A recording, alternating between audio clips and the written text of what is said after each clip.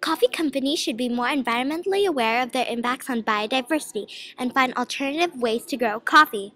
I'm Kat. And I'm Ashleigh, and, And we're, we're going to be talking talking about coffee. Coffee is one of the most consumed beverage in the world because of its taste and the stimulating effect of caffeine.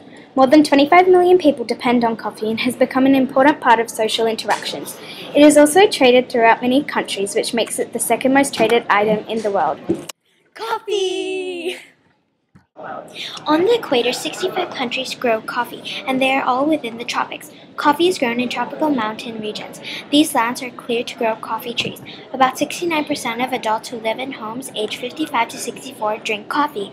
The U.S. consumes about one third of the world's coffee. Most coffee is grown using the sun-grown method. Trees and canopies are cut down to grow a single crop. Habitat species of plants and animals are lost. The loss of diversity of plants affects the diversity of insects, and the loss of one species affects the entire food chain and balance of the ecosystem. A study found that there were 94 to 97% fewer bird species in sun grown coffee than in shade grown coffee farms. Also, up to 40 species of trees can be found in some traditional farms. Coffee! Did you know that there's an alternative to sun grown coffee?